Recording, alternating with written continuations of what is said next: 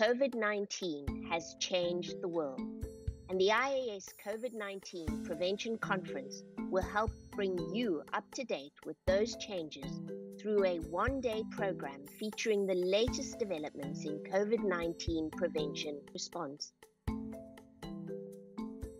We'll provide the latest updates on COVID vaccine development and rollout, virus variants, and modes of transmission other cutting edge areas of prevention science, policy, and practice, and how to limit the pandemic's impact on people's lives around the world. The IAS COVID 19 Prevention Conference will take place virtually on a user friendly digital platform that allows delegates to access the conference and interact with other attendees in real time from anywhere in the world.